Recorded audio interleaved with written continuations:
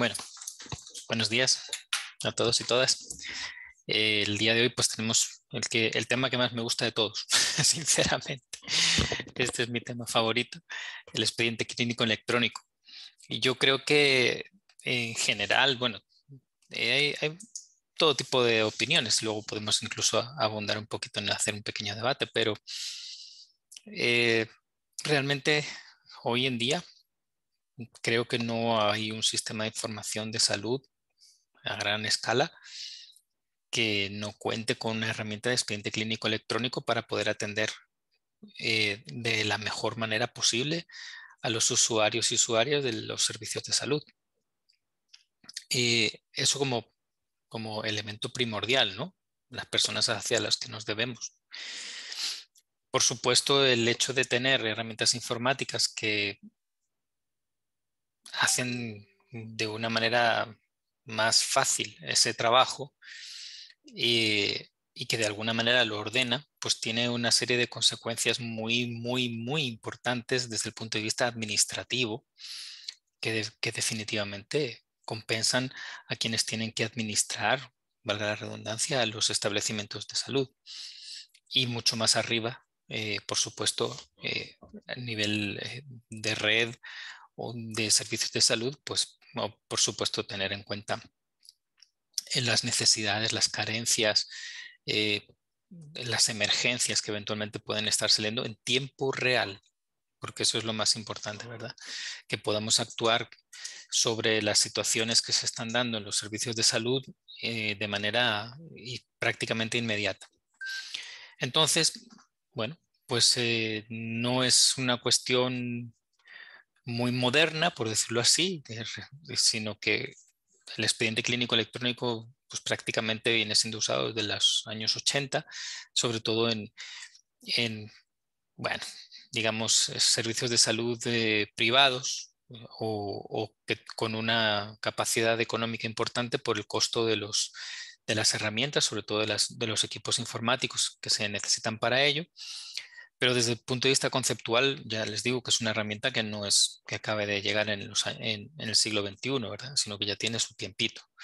Lo que sí ha sucedido en este siglo y sobre todo en esta última década, y más todavía en esta que recién hemos iniciado en el 2020, pues es que es la extensión o la, digamos, la expansión del uso del expediente clínico electrónico y, por supuesto, el reconocimiento, en principio, aunque todavía hay cierta prudencia al respecto, pero sí el, impulso, el esfuerzo que muchos organismos multilaterales realizan con los países en general para que este tipo de herramientas se implementen. En ese sentido, yo, de hecho, sigo participando de manera activa en, ese tipo de, de ámbitos y luego quizá les puedo contar un poquito más de esa experiencia. ¿Ok? Así que vamos allá. Vamos allá. Hablemos del expediente clínico electrónico. Una de las cosas que es más importante eh, a nivel conceptual o a nivel teórico es distinguir porque, híjole, en expediente clínico electrónico hay para todos los gustos. Pero digamos que hay dos denominaciones muy importantes que ustedes deben conocer para que no confundamos unas cosas con otras. ¿ok? La primera definición, la más normal, la que todo el mundo conoce, es el expediente clínico electrónico. Se le conoce así en inglés, Electronic Medical Record. Electronic Medical Record. Em, es muy importante que ustedes eh, conceptualicen el expediente clínico electrónico como una aplicación, una herramienta de software que bajo esta, denominación funciona en un establecimiento determinado. ¿Ok? En un hospital, en una unidad comunitaria de salud familiar, en una clínica, etc. Pero se queda ahí. ¿De acuerdo? Pues tenemos ahí nuestros expedientes, nuestros, el personal sanitario, de enfermería, de medicina, obvia, farmacia y demás, pues hace toda su labor basándose en la información que se va captando del paciente y bueno, pues todo, todo queda ahí perfectamente. Y lo que, lo que sirve es pues para sustituir todo ese montón de papeles que antes se tenían que generar, los típicos folders, ¿verdad? Que este se tenía que ir guardando y que, bueno, era toda una logística, eh, ir a por el folder del paciente, llevarse al consultorio, luego devolverlo. Adelante, Alexandra. ¿Nos puede dar, disculpe, cinco minutos de receso que necesitamos poner de acuerdo en algo? Sí. Sí, sí, esperen que paro, paro la grabación, no hay problema. Sí, es que... Bueno, la pausa. Entonces les contaba, ¿verdad? Que tenemos la primera denominación, que es la de expediente clínico electrónico, Electronic Medical Record. Y esa está centrada en el establecimiento, ¿de acuerdo? ¿Sí? Cuando estamos hablando solamente del, trato que se recibe y del almacenamiento de información en un mismo establecimiento, nos quedamos con esa definición, pero no es la única. Y aquí es donde hay que hacer un poquito de discusión o de ampliación. Hay otra denominación que se, que se denomina Electronic Health Record, o sea, expediente electrónico en salud. La diferencia es muy sutil, qué es en salud y qué es clínico, cuál es la, de alguna manera, dónde, dónde está la frontera entre ambos conceptos. Bien, en salud quiere decir que el expediente no solamente contiene información generada en el mismo establecimiento donde el paciente se trata, sino que incorpora información como por ejemplo en el caso del Ministerio de Salud, incorpora información que proviene de la ficha familiar o que también de alguna manera está conectado ese expediente clínico con tratamientos, eh, atenciones, resultados que se proporcionan en otros establecimientos de la red de salud o incluso de diferentes redes de salud.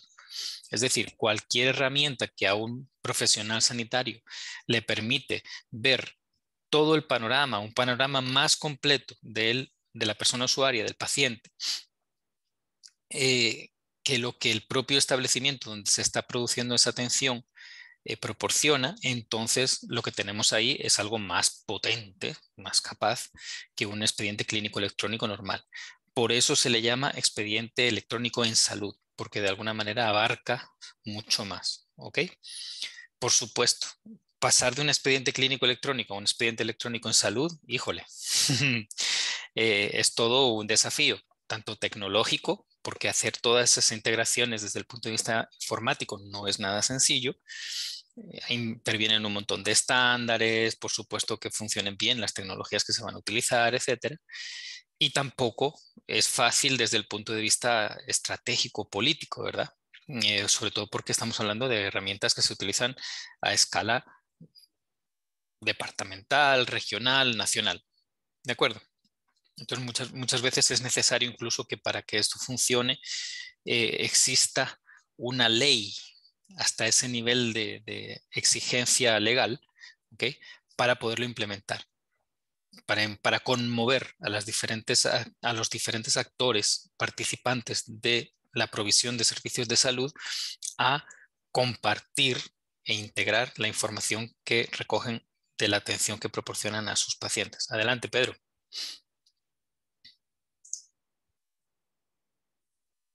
Te escucho. Pedro, levantaste la mano. No sé. Sí, eh, Igmar le va a hacer la consulta. Adelante, Igmar.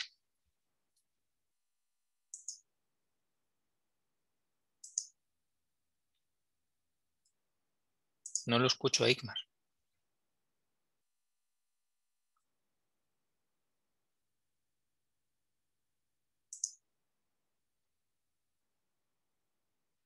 Hola, hola.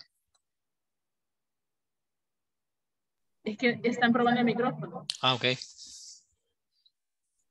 Una pregunta, ingeniero. Adelante, Igmar.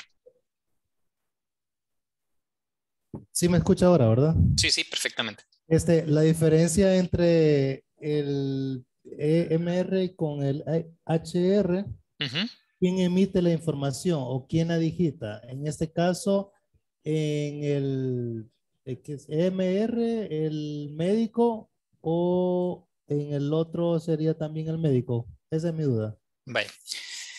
Eh, no es quien digita la información lo que distingue ambas herramientas, sino el alcance que tú como profesional sanitario tienes de la información de la persona, del paciente que tienes delante. Si la información que tú tienes a tu disposición para dar la consulta solamente es la que se ha producido en tu establecimiento de salud, entonces tienes un EMR. Pero si tienes más información que la que se ha producido en el establecimiento, puede ser información sobre los antecedentes o sobre el contexto socioeconómico, como por ejemplo la que puede venir de la ficha familiar o de algo equivalente, o información de otras instituciones o de otros establecimientos, ya sea de la misma o de otras redes de servicios de salud. Es decir, puedes ver eh, un historial mucho más completo del paciente, entonces estás hablando de un EHR. ¿Ok? no es quien digita, sino de dónde viene toda esa información. No sé si quedó un poco más claro.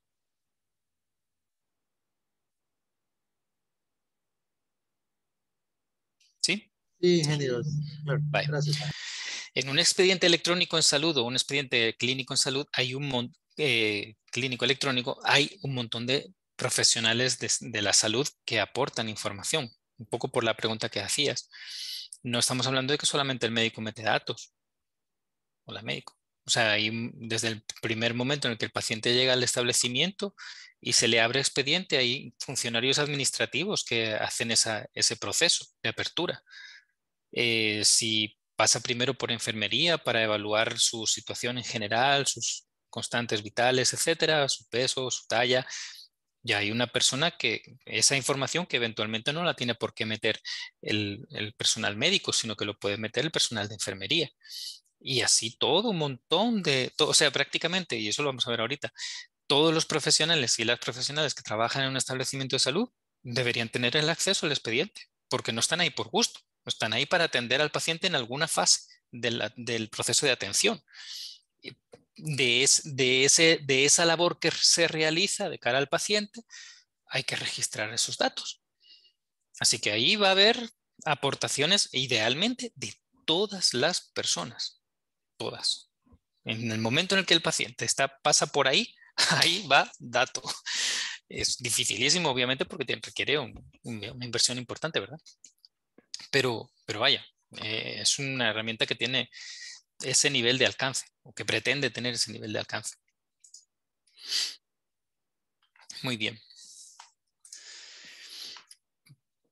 Entonces, si estamos hablando del expediente clínico electrónico, Electronic Medical Record, eh, está centrado en el proveedor, como les decía, ¿verdad? Les anticipé un poquito y se encuentra en una sola ubicación.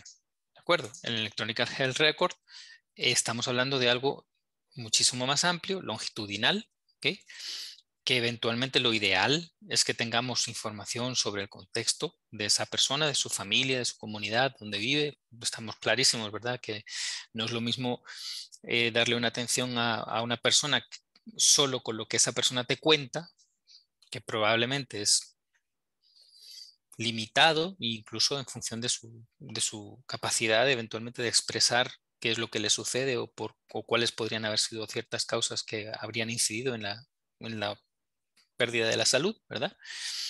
A tener esa información de, otros, de otras fuentes. Definitivamente. O sea, yo, me pongo en el lugar de, un profesional médico y obviamente yo querría saber cómo vive esa persona y cuál es su, cuáles son sus circunstancias para poder dar una, una, mejor orientación a la hora de que su salud se recupere lo antes posible y sobre todo que no vuelva a enfermarse, ¿ok?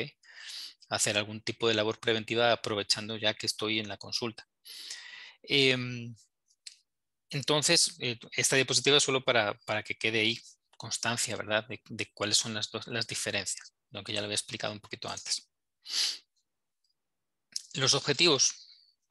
Esto es un poco por, también por formalidad a la hora de definir una herramienta. Como les decía, si tenemos un expediente clínico electrónico o un expediente electrónico en salud, definitivamente la prioridad es el paciente. O sea, no voy a, no voy a intentar justificar eh, hacer ese tipo de, esfuerzo, de inversión, eh, porque administrativamente me va, me va a compensar. Eso va a ser una consecuencia, pero en realidad lo que de alguna manera me debería motivar a hacer ese tipo de esfuerzo es que voy a poder atender mejor al paciente, voy a poder atender más rápido, voy a hacerlo esperar menos colas. Y definitivamente eh, es, eh, la realidad así, así es como funciona, la verdad. bueno, me imagino que aquí hay varias personas que han utilizado expediente clínico electrónico, entonces eh, seguramente me podrán confirmar si efectivamente eso es así.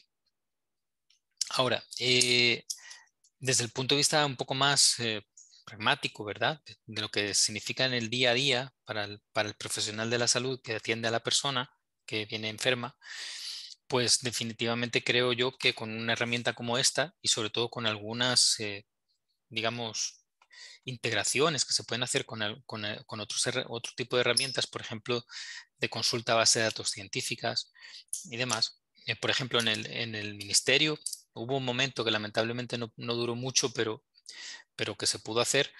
Eh, no sé si ustedes conocen una herramienta que se llama UpToDate.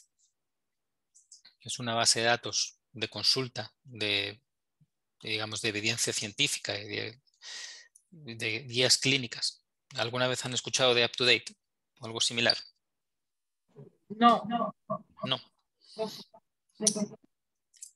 Pues es una, es una base de datos que tú pones la enfermedad y ahí te da hay un, bueno, hay un equipazo, ¿verdad? De gente súper profesional, los mejores del mundo, ellos lo venden de esa manera. Eh, revisando toda la evidencia científica que se va generando y produciendo unas guías de atención clínica para determinada enfermedad en particular con las mejores prácticas eh, al día. Entonces, bueno, desde luego cuando, cuando uno ve ese tipo de herramienta, incluso yo que no tengo una, bueno, sí tengo que ver, pero no soy profesional de la salud, pero híjole, incluso cuando para mí, ¿no? Para consultar, todo el mundo está acostumbradísimo a, poner en Google algo y, acabar en el Medline y, ver, eh, o en la clínica Mayo de Estados Unidos y salen las páginas, ¿verdad? ¿Qué es lo que debes hacer? ¿Qué te puedes tomar? Y no sé qué.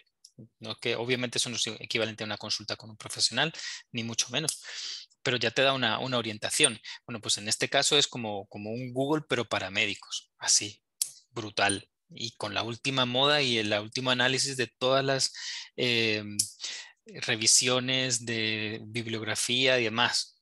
Fundamentadísimo. Bueno, pues nosotros hicimos una integración entre el CIAP, eh, que se estaba usando en ese momento en el Rosales, y esa, esa herramienta. Entonces, cuando el médico ponía eh, la enfermedad que fuera, ¿verdad? Con el texto, hacíamos una traducción, eso sí, estaba todo en inglés. hacíamos la traducción y si quería el médico le daba un botón y aparecía la página de UpToDate con la mejor práctica de en ese instante para atender esa enfermedad. Con todo lo que implica. O sea, súper poderoso. ¿eh? Lamentablemente ese tipo de servicios no son, no son gratis. Te los regalan un ratito para que pruebes. Son así como el dulcecito. Y cuando se trató ya de, bueno, veamos si como ministerio podemos asumir esto para, todos los, para todo el ministerio, porque es, sería bien importante, ¿verdad? Tenemos muchas personas, muchos profesionales que siguen haciendo su trabajo basándose en información no tan actualizada, eh, incluso con algunas costumbres no muy recomendables a día de hoy. Entonces veíamos que eso podría tener un buen potencial, pero era demasiado caro y no había dinero en absoluto para, para tal cosa. Pero el punto es que se puede hacer ese tipo de integración entre la herramienta a la hora de, trabajar en la parte administrativa con el paciente, pero por supuesto también para darle la mejor atención clínica que el paciente puede recibir. Y eh, tercer driver de una herramienta de expediente clínico electrónico, que es la que obviamente le gusta más a la gerencia, ¿verdad? es que ahí definitivamente queda todito bien cuadriculado, ¿verdad? Todos los, eh, todas las consultas que se van dando, la cantidad de profesionales que trabajan, a qué hora empiezan, a qué hora acaban, cuánto, cuánto tiempo tardan por consulta en promedio. Eso, eso definitivamente eh, con una herramienta de expediente clínico electrónico uno se puede atrever a hacer un trabajo muchísimo más eh, eficaz a la hora de dirigir un, un servicio de salud. En, cualquier, en cualquiera de sus niveles. Sin una herramienta de expediente clínico electrónico, honestamente, eh, no sé, pero casi que todas las decisiones que se van a tomar pues se basan en informes a posteriori, eh, que muchas veces son interpretaciones que no, son, no están basadas en la realidad, sino, que, sino en la impresión o lo que el jefe de consulta externa eventualmente opina, sus intereses. O sea, hay muchas, es muy complicado trabajar sin, sin la fuente de datos eh, original, ¿verdad? Con, con, con información ya preprocesada a la luz de, diferentes poderes que incluso pueden trabajar dentro de la institución. Entonces, realmente en ese sentido, obviamente a la gerencia le, vale, le importa mucho tener este tipo de herramientas. A los usuarios finales, no los usuarios finales de, como pacientes, sino lo que son profesionales sanitarios que usan estas herramientas, en muchas ocasiones, hay que decirlo con mucha honestidad, eh, no les gusta en absoluto. ¿Sí? ¿Por qué? Porque les controla.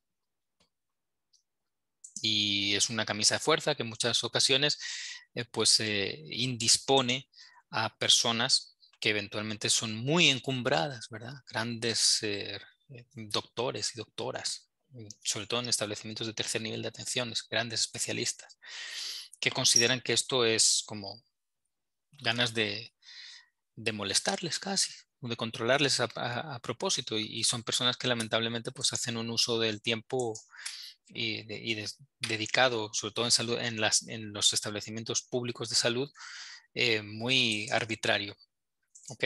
Por decirlo bonito.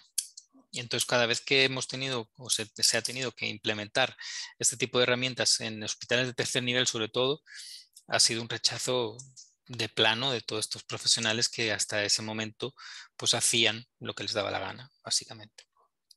Y como el papel aguanta con todo, pues todo bien. En cambio, con el expediente clínico electrónico se sabe perfectamente a qué hora entra, qué hora se va, cuántos pacientes vio, cuánto tiempo los vio, etc. Así que en ese sentido hay que considerar esa situación. Ok, esto ya lo hemos visto varias veces, ¿verdad? La pila, ¿dónde están los, este, en dónde se ubica nuestra herramienta de expediente clínico electrónico, de expediente electrónico en salud. Definitivamente, si es expediente electrónico en salud, eh, uno puede entender que, puedes llegar a, niveles un poco estratégicos, pero en general, en general, estas herramientas definitivamente son operativas. Son para que las personas que tratan al paciente tengan una herramienta para poder hacer ese trabajo mejor. Así que es directamente operativo. Ahora, si estamos en un servicio de salud, al jefe de la consulta o eh, a las personas que de alguna manera tienen que tomar decisiones eh, de gestión de recursos para que el, funcionamiento del establecimiento del servicio les sirven muchos reportes que se generan directamente de esos datos, o sea que llegan hasta el nivel táctico sin ningún problema. Normalmente se ubican en los dos no tiene, o sea, no vale la pena, de, obviamente, ninguna herramienta de expediente clínico electrónico que no proporcione una cantidad de reportes suficiente, ¿verdad? El tercer objetivo, que era el de hacer un gobierno del servicio de salud mucho más informado, más eficiente, más eficaz, se basa en ese tipo de datos. Entonces, todas las herramientas de expediente clínico electrónico que se precien tienen un motorcito de consultas, de, de reportes y demás, para que se pueda hacer uso o explotar esa capacidad. Ok, entonces tenemos esos dos niveles. Si tienen alguna duda o alguna pregunta, me paran. Por favor. ¿Qué componentes son los que suelen tener este tipo de herramientas?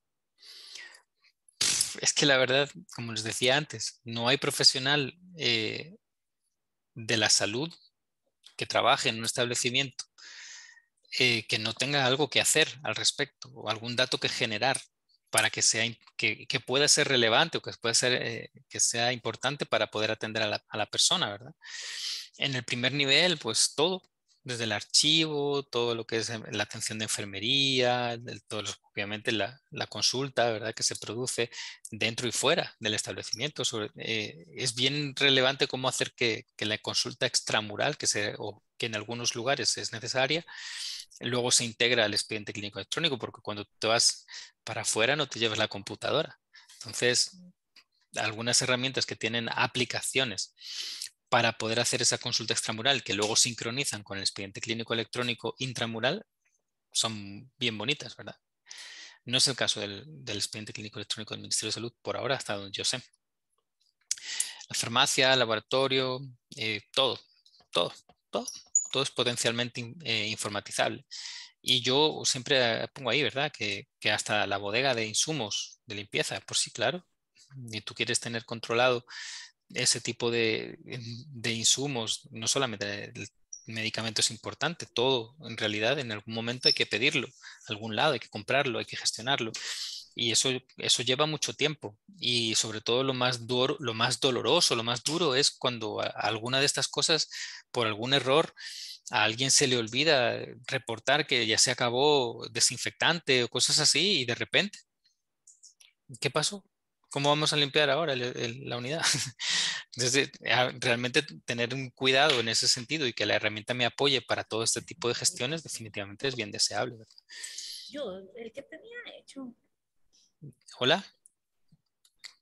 Escucha a Fátima por ahí. Ah, no. No, no hay problema. Ah, ok. Muy bien. Y en el nivel hospitalario, pues más todavía. En el primer nivel todo es informatizable, en el segundo o tercer nivel más.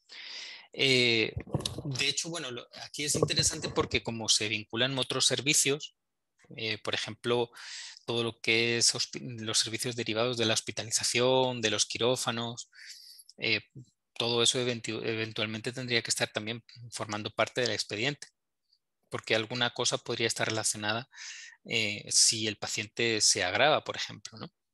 Entonces, mm, definitivamente, con más razón, en, este tipo de, establecimientos de mayor complejidad, se necesitan también que todas las, todo el expediente electrónico esté implementado. Hmm, ahora vamos a ver cómo, cómo, cómo podemos hacer que eso funcione. ¿okay? Por ahora hemos justificado su, necesidad de alguna manera.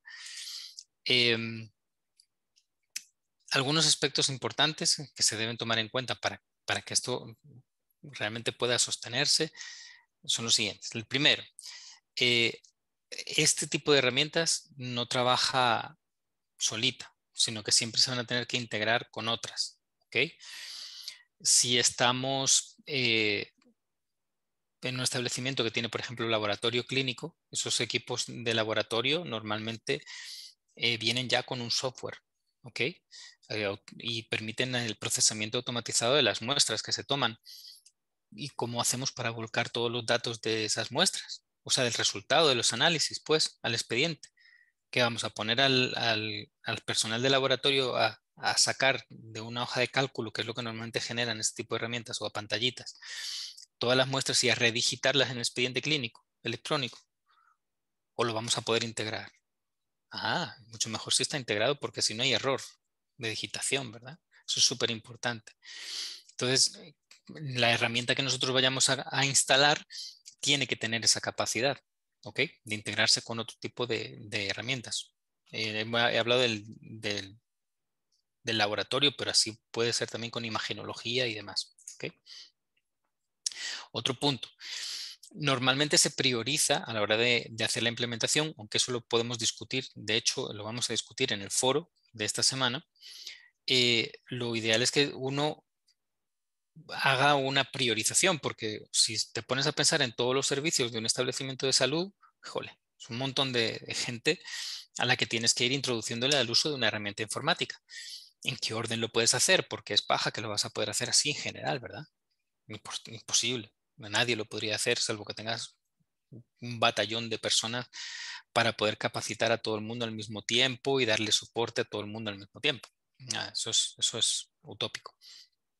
Entonces lo normal, lo que se suele pretender, es que primero empieces por donde va el flujo de las personas, ¿ok? Eh, digamos que el, lugar donde más se siente el beneficio del expediente clínico electrónico es allí donde los pacientes hacen cola. ¿De acuerdo? Cuando tenemos papeles, esas colas pueden hacerse infinitas. Bueno, ustedes lo saben de sobra, ¿verdad? Que para sacar cita o para abrir expediente allí donde no hay, pues pueden pasar, pues, si hay una afluencia importante de pacientes, definitivamente puede pasar una hora, dos horas hasta que alguien le atienda.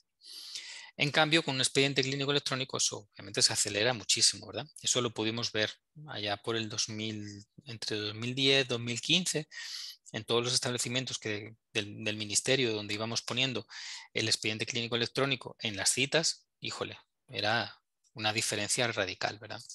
No es que después el paciente se fuera a acordar de cómo era antes, pero sí durante, en el proceso definitivamente había, había una respuesta muy positiva del paciente a la hora de ver que el tiempo que antes pasaba sacando una cita era una hora y, y después del expediente clínico electrónico o de esa parte del expediente clínico electrónico, pues no tardaba ni cinco minutos, por decir algo, porque a veces el médico es el que le ponía ya de una vez la cita.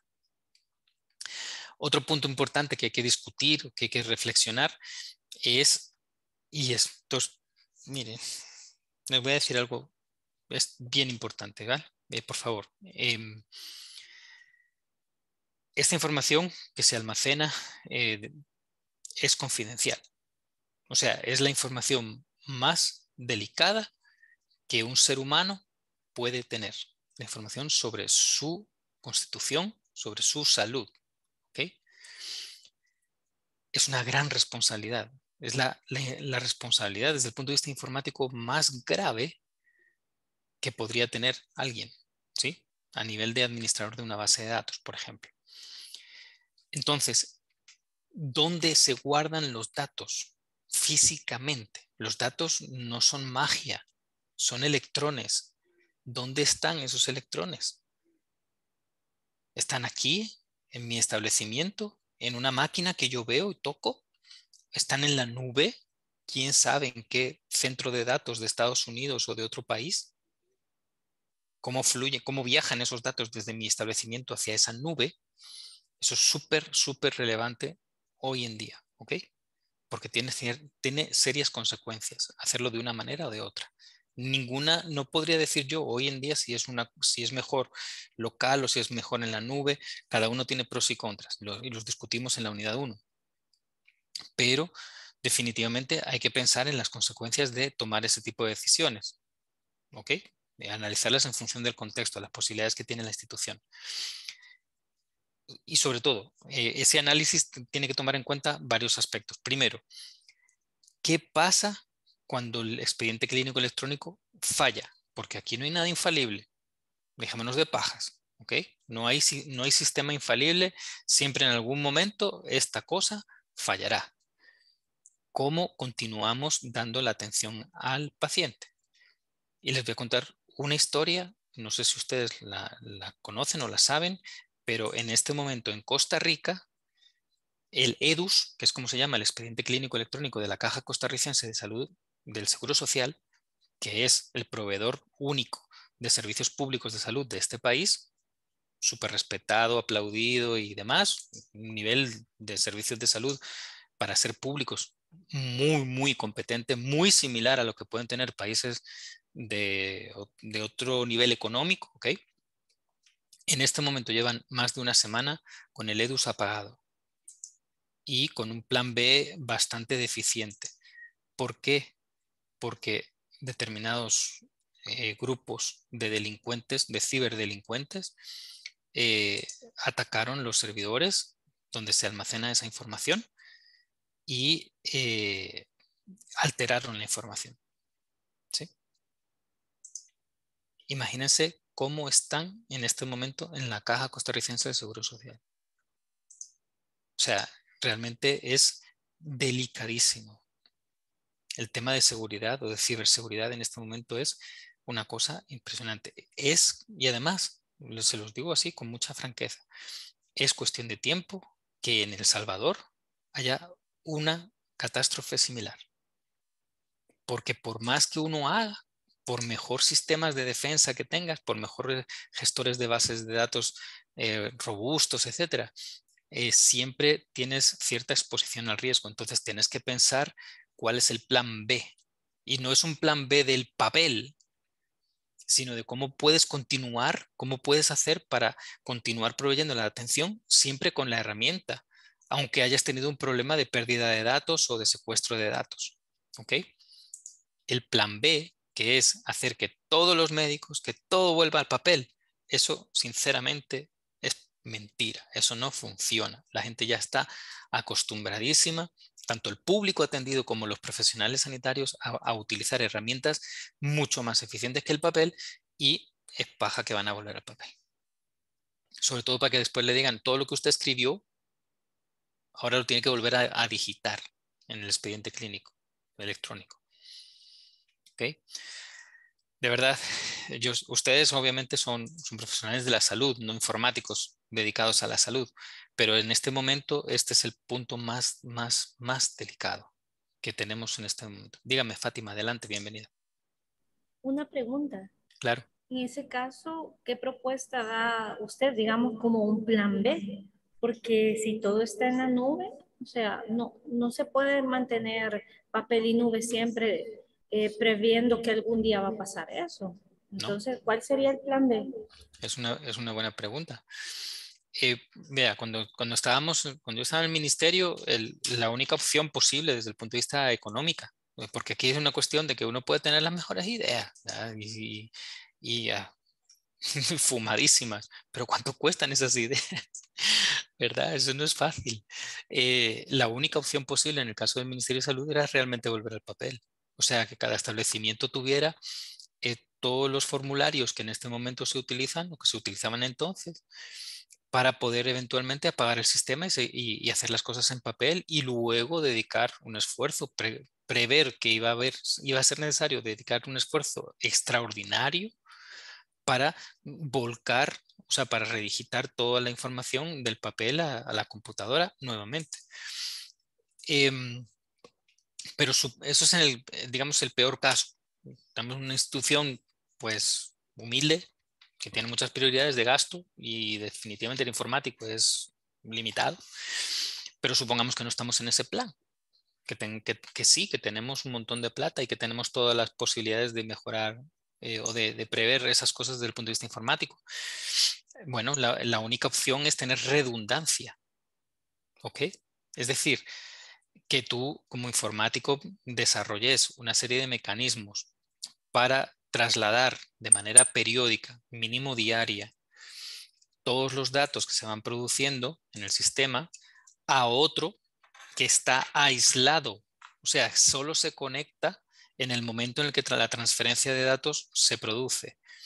Y cuando esa transferencia de datos se ha producido, en ese momento lo desconecto de Internet. Y lo tengo ahí. Ese servidor lo tengo ahí apagadito, solo para cuando como almacenamiento, como eh, opción B, en el caso de que haya un, un compromiso grave de la opción A. Pero lo ideal es que tengas por lo menos un equipo la mitad de potente que el de la opción A. Pero eso significa una inversión casi doble en infraestructura informática. ¿Sí? Por supuesto, también otra cosa que, se, que es muy importante es que tú, eh, obviamente, lo que son los equipos que te sirven para acceder al expediente clínico electrónico sean lo más robustos posibles o que tengan las menos posibilidades de ser infectados posibles o de arruinarse. Entonces es muy importante saber también qué tipo de equipos estás comprando, qué sistemas operativos les pones, cómo los defendes. Ahí hay muchas, eh, digamos, mucha argumentación a nivel tecnológico, ¿verdad? nosotros optábamos por Linux porque era el sistema operativo más barato, es gratis y sobre todo más robusto. Eso no, es, no les digo yo ninguna novedad. Y sobre todo porque al final de, cuentas el expediente clínico electrónico no es una herramienta eh, que, que, necesite un sistema operativo particular, es una página web, pues. O sea, se enciende la computadora, abres el navegador, te da igual cómo se llame el sistema operativo. Ahora que el sistema operativo sea más o menos vulnerable, que un sistema operativo requiera obligatoriamente comprar un antivirus para estar medianamente decente, que la computadora, eh, aunque no hagas nada con ella, al cabo del año ya esté insoportablemente lenta, definitivamente es un problema de soporte muy grave. Por eso nosotros optamos por un sistema operativo que no tiene este tipo de desgracias. Ahora, no fue fácil, obviamente. Mucha gente dijo, no, pero yo no sé usar Linux. Entonces, ah, entonces había que hacer una capacitación, dar soporte y tal. Eso también es bien importante para evitar o mitigar los riesgos informáticos. Y tomar ese tipo de decisiones no es fácil. Pero bueno, mi, misión es decirles a ustedes, ¿verdad? Que cuando estén involucrados en ese tipo de procesos, eh, tomen muy en cuenta esas problemáticas. Porque, como les digo, el plan B en papel es el al más no haber. en realidad lo que uno tendría que tener es un sistema redundante. ¿De acuerdo? Sí, le pregunto porque si pasa eso en Costa Rica, es fácil que pueda pasar aquí, ¿verdad? Por supuesto. Es fácil que pueda pasar en todos lados. O sea, este, este tipo de grupos sinvergüenzas, delincuentes malditos que, que se dedican a infectar o a secuestrar datos, lo que hacen es encriptar las bases de datos. Eh, no han atacado solo Latinoamérica, han atacado todo el mundo. Y los servicios de salud son especialmente sensibles o atractivos para este tipo de delincuentes, porque como es información tan relevante, tan difícil de reemplazar, o sea, tú imagínate que, que tenés eh, tu establecimiento, vamos a poner un caso, tenemos nuestra unidad de salud, llevamos 5 o 10 años recogiendo datos de nuestros pacientes, todo está en el sistema.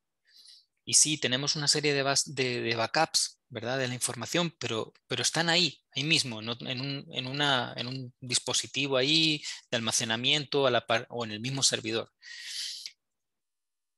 ¿Te puedes imaginar lo que significa que te digan de un día para otro, has perdido todo? Toda la información de tus pacientes en este momento está secuestrada. Usted me puede pagar 100 mil dólares y se la devuelvo. O sea, esta gente es para ellos es un negocio. No, lo hacen simplemente por molestar, lo hacen para ganar plata. Hay muchos establecimientos, sobre todo privados de salud, que se, enfrentan a este tipo de problema y pagan, pagan el rescate, porque prefieren tener de vuelta, o sea, ellos valoran el, costo-beneficio. Si, si, tengo que decirle a mis pacientes, perdí toda su información y tengo que empezar de cero, es súper es dramático. Eh, y tiene un costo desde el punto de vista de, de, ¿cómo decir? Se llama, a se me fue el nombre, pero tiene, tiene un impacto en la imagen de alguna manera que, que tú como este, institución de salud privada o pública proyectas a tus pacientes, ¿verdad?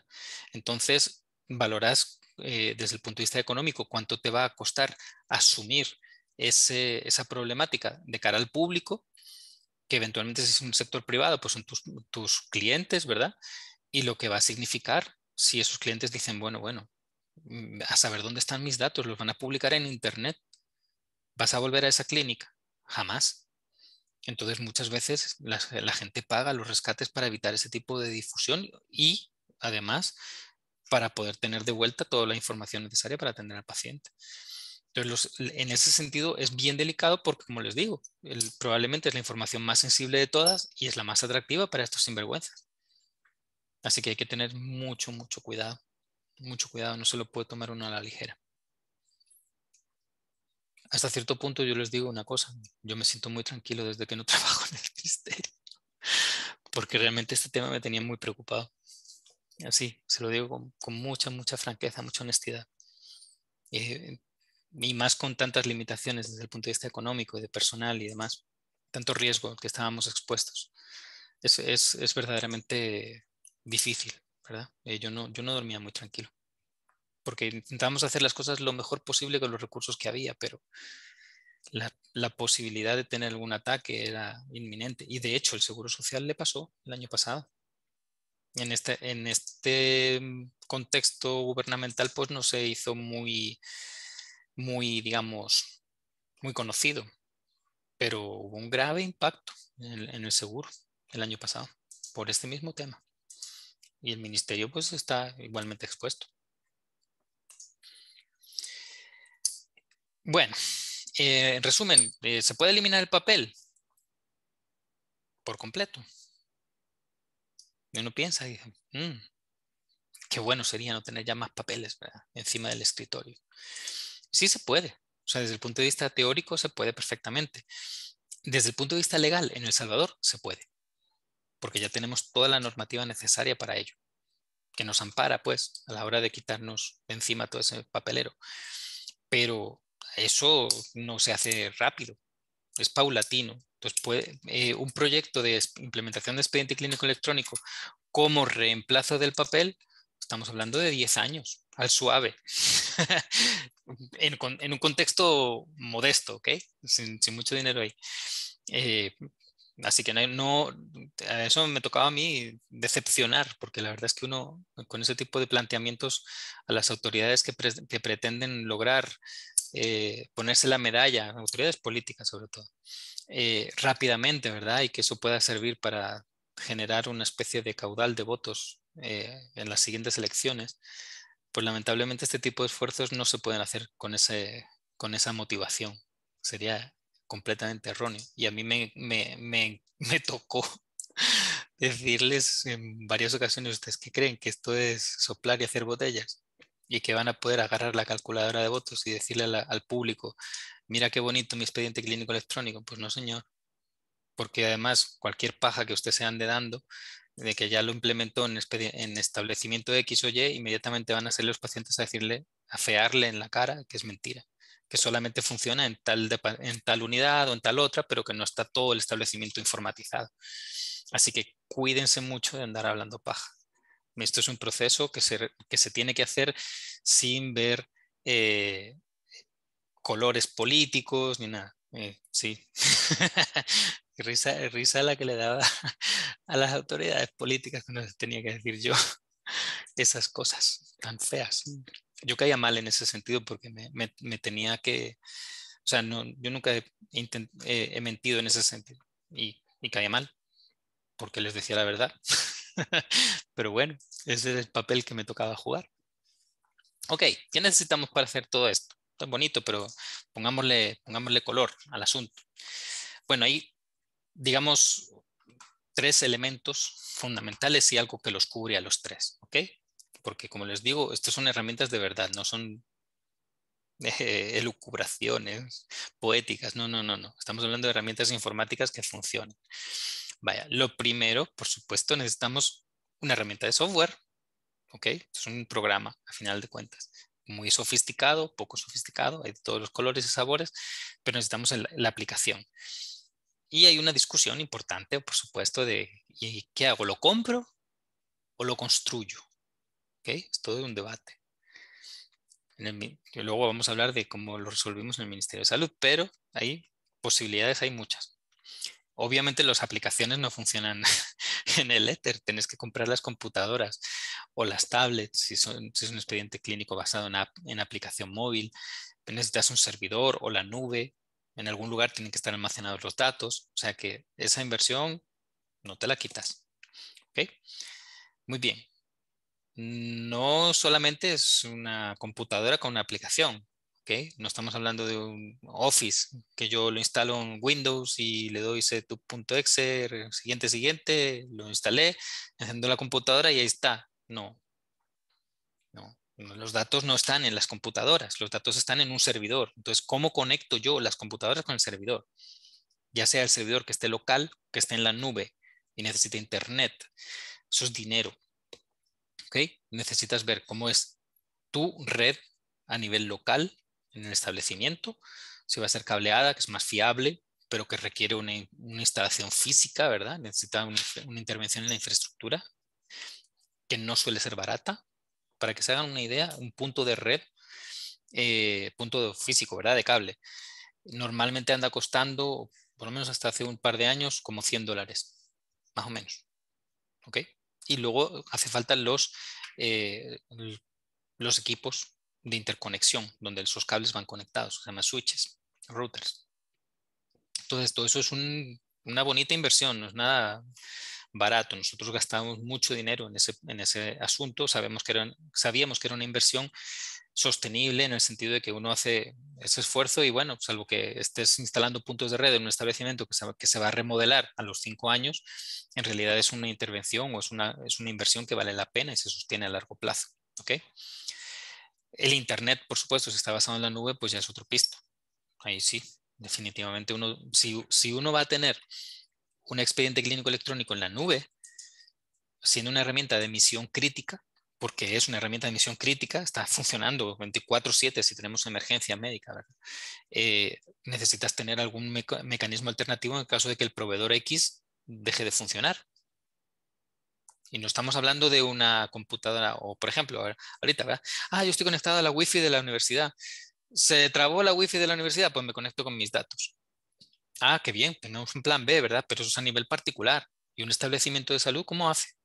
Si se le cae, si, se cae el proveedor X. ¿Mm? De un expediente clínico electrónico generalmente se requiere tener doble proveedor, pero eso es muy caro. Y tercer punto, esto no funciona solo, ¿ok? No es, de nuevo, no es una herramienta de ofimática. Es una aplicación muy sofisticada que normalmente requiere capacitación permanente, que requiere mejoras permanentes porque nuestro contexto cambia, la forma de atender cambia de manera eh, acorde a esos cambios que se dan en el contexto, ¿verdad? Eh, que nos lo digan después de la pandemia, ¿verdad? Cómo, hemos, cómo se ha visto, cómo ha cambiado todo desde el punto de vista de la atención de la salud. Eh, y entonces necesitas gente que esté ahí pendiente para poder llevar a cabo todo ese proceso de acompañamiento, de, de, mejora continua de eso. Y, por supuesto, como les decía antes, no hay herramienta infalible. En algún momento el expediente clínico electrónico fallará. ¿Quién lo va a restaurar? ¿Ok? Y si una computadora de un consultorio deja de funcionar, ¿quién va a arreglarla? Pues eso no es magia. Es importantísimo tomar en cuenta todas esas necesidades. Sobre todo eso, que son temas tangibles, hay un aspecto muy importante que no se nos debe olvidar, la normativa sobre todo porque estamos hablando del sector público en general. El sector privado puede hacer lo que le plazca siempre y cuando no esté prohibido. Así funciona nuestra legalidad, ¿verdad? Pero en el sector público solo se puede hacer lo que está expresado en la ley o en sus, eh, digamos, elementos derivados, reglamentos, normas técnicas, lineamientos, guías clínicas, etc. Eso costó un montón, muchos años lograr tener la capacidad normativa suficiente, necesaria y suficiente, para que el sector público de salud en El Salvador pudiera llevar a cabo un proceso de implementación de expediente clínico electrónico que reemplazara al papel. ¿Ok? Eso costó mucho. Por supuesto, en este caso, eh, digamos que el elemento normativo estrella definitivamente es la norma técnica de conformación y custodia del expediente clínico. ¿Ok? Ese es el Santa Santorum normativo actual. Pero como vimos también en la, jornada número 2, que hablamos un poco del tema de los temas legales, pues hay otra serie de, cuerpos legales que también apoyan esto, ¿verdad? Eh, la firma electrónica, la ley de acceso a la información pública como reemplazo, por lo menos sustitución temporal de la ley de protección de datos personales, la ley de proveedores, eh, de la ley de, em, ¿cómo se llama? De derechos y deberes de proveedores, de, los proveedores y de, servicios de salud. ¿okay? Esa también hace una, hace una mención explícita al hecho de que puede haber expediente clínico electrónico y demás. Entonces, esa normativa es bien importante. Yo en este momento estoy eh, involucrado directamente con ese mismo esfuerzo en Guatemala. ¿sí? Desde acá estoy apoyando un poco a, la gente del Ministerio de Salud de Guatemala a través del BID, que tienen este problema. Tienen todo el ímpetu para implementar expediente clínico electrónico. Están muy atrasados en ese sentido. Pero tienen toda la intención, toda la ilusión. Tienen muy poco tiempo porque el gobierno actual está a menos de un año ya de terminar. Pero tienen una plata de un préstamo del BID quieren hacer ya ciertos esfuerzos de implementación, pero no tienen normativa, no tienen cómo ampararse. Y lo primero que van a decir los profesionales de la salud es, suave, a mí, a quién me dice que yo estoy haciendo algo legal si yo estoy escribiendo en una computadora. No, yo solo voy a hacer lo que obviamente esté legal, porque pues, si no me puedo meter en un lío si hay después una denuncia o cualquier cosa. Entonces eso es bien importante. Ok, eh, si pensamos todo, todo ese panorama, ¿verdad? Realmente eso es un platal. No les digo ninguna novedad. Si ustedes piensan cuánto cuesta una computadora, por cada una de esas personas que de alguna forma tienen que tener acceso al expediente clínico electrónico más el servidor o la conexión a la nube o lo que cuesta la nube, que es carita, ¿verdad? Eh, eso es algo que requiere una inversión inicial, cosa seria, no es así, no es así nomás. Y, y es una decisión normalmente muy complicada porque no es que esté sobrando el dinero, o sea, si tú ves todas las necesidades que tiene un ministerio de salud o un establecimiento de salud en particular y, y tienes que tomar una decisión con el poquito dinero que tienes,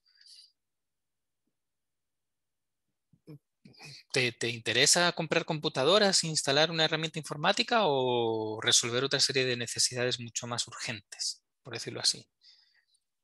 Porque esto es, se puede ver que tiene sentido, pero ¿hasta qué plazo, verdad? Eh, entonces, definitivamente, eh, este tema del costo de inversión inicial es algo súper, súper importante y que solo se puede hacer en, algunos momentos donde tienes esa posibilidad económica. Pero, pero, aquí viene el punto importante. Lo, peor, lo peor no es esa inversión inicial. Se lo digo con conocimiento de causa. Lo peor es que es un gasto permanente. Y aquí es donde llegamos a, situaciones extremas, incluso de tener que decir, bueno, pues no se puede. No se puede. No hay dinero para poder sostener esto. ¿Ok? Las computadoras se arruinan porque son elementos no fungibles, pero casi. Tienen una vida útil proyectada de máximo, máximo cinco años con sistemas operativos como Linux definitivamente se puede prolongar más, hasta 10 años, 15 años puede durar una computadora. Con Windows no, jamás. ¿okay? La computadora se pone lentísima, lo que Windows te dice es que reinstales el sistema operativo y llega un momento en que la nueva versión del sistema operativo ya es incompatible y te obligan a comprar una computadora nueva. Es lo que se llama obsolescencia programada. Entonces tú tienes que tener ya proyectado que vas a tener que renovar el equipo, que vas a tener que reemplazar el obsoleto o el, o el arruinado. Eh, necesitas pagar los salarios de las personas que están dando soporte. Y esas personas pueden estar ahí en tu establecimiento contratadas, ¿verdad? O puede ser un servicio subcontratado del proveedor del software, ¿verdad? Que tiene sus, sus agentes, ¿verdad? Y que tú llamas ahí a lo mejor para que alguien te ayude. Todo eso cuesta un dinero. Por supuesto, esas las telecomunicaciones que les contaba antes, ¿verdad? Si estás basándote en la nube, internet, todos los meses, factura.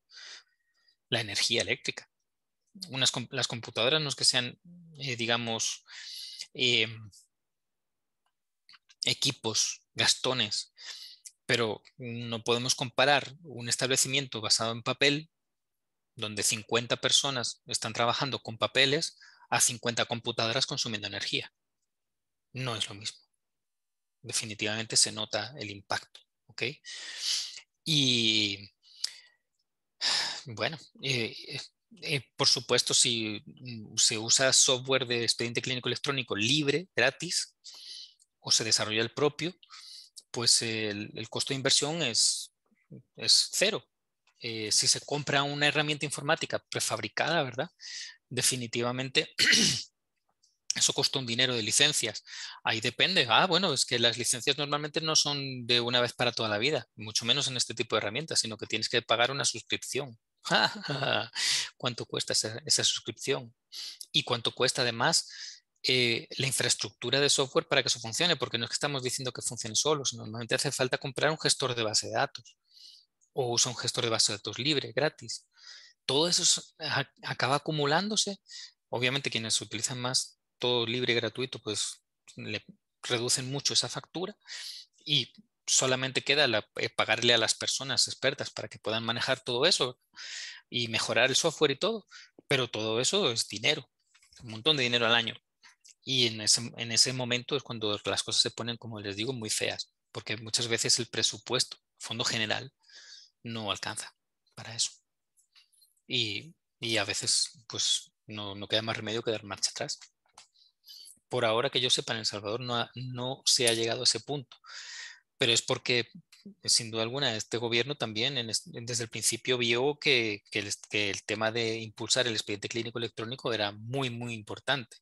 Y también porque decidieron, aunque hubo amenazas muy serias al respecto, de hecho yo me fui por eso, eh, de revertir todo. ¿Ok? De que no iban, a, no iban a continuar haciendo las cosas como se venían haciendo, sino que iban a, tirar toda la basura y a, hacer un negocio sucio para comprar otro tipo de herramientas. Afortunadamente no, no lo hicieron. Pero bueno, el punto es que, lo que quiero que quede claro es que cuando uno se mete en este tipo de herramientas de expediente clínico electrónico, tiene que tener un presupuesto para sostenerlas. No es así nomás. ¿ok? Ahora, supongamos que... Adelante, Alexandra. Aparte del presupuesto, también es bueno... Uy, sí, sí, el mío. Pues si quieres usar el de, el, de, el de la clase para que no haya feedback. Voy a, voy a pararme, permítanme. Sí, sí.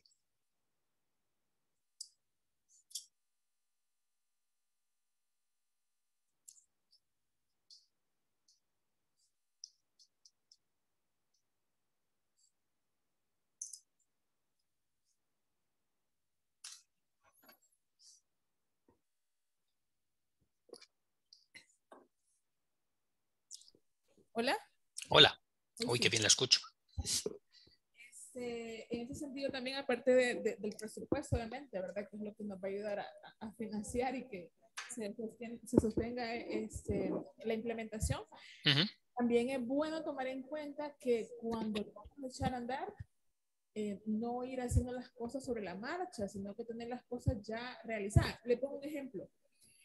Eh, a veces, por lo menos ahorita que se ha implementado a nivel local, eh, nivel local recibe una indicación, si va, si recibe otra. Yo no tengo capacitación realmente para el uso, ¿verdad? Sino que he ido aprendiendo en base a lo que he estado realizando en ese, en ese tiempo en nivel local.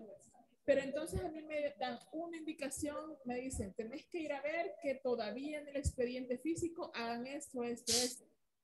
Y cuando llego a nivel local me dicen, no, los que vinieron a capacitado dijeron que no lleváramos nada de eso en físico, solo electrónico. Entonces ahí chocan eh, las indicaciones y se generan los problemas. Pues, Correcto. Por indicación que lo tienen que hacer en físico, les estoy generando más trabajo porque es doble trabajo. Doble.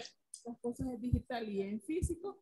Y después les vienen a supervisar a ellos y les dicen que por qué, de, de, de, de la le dicen que porque se llaman las cosas en físico, sino eso no es por indicación. O sea, hay un choque de información y de indicación. Pero entonces ahí es importante homologar y bajar todas las líneas de, de, indicación y de directrices. Sí, totalmente de acuerdo.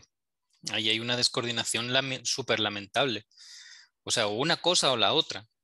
Y, y en ese sentido, el tiempo de las personas que atienden a los pacientes es valiosísimo definitivamente es lo más, probablemente muchísimo más costoso hacer perder el tiempo a los profesionales de la salud que, que tener o no tener un expediente clínico electrónico.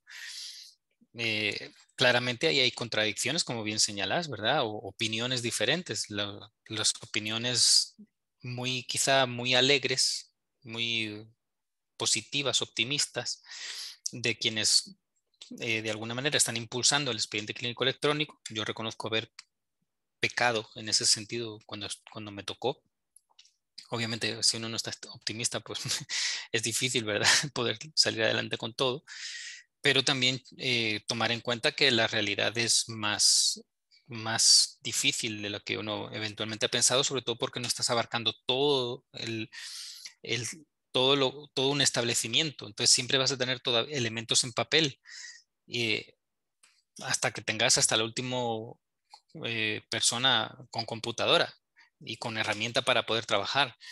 Entonces, eh, es bien difícil de, paralelizar y, y, por supuesto, ese proceso de implementación paulatina tiene que ser planificado y tiene que ser conocido, como tú bien señalas. No puede ser improvisado, no puede ser que de repente hoy llegue fulano eh, porque, porque le dio órdenes periquito de Capres y a decir que todo el mundo lo haga digital y luego llegue alguien a decir, no, no, no, no hagan eso porque podemos tener problemas y mejor eh, tal, volvamos, hagamos esto.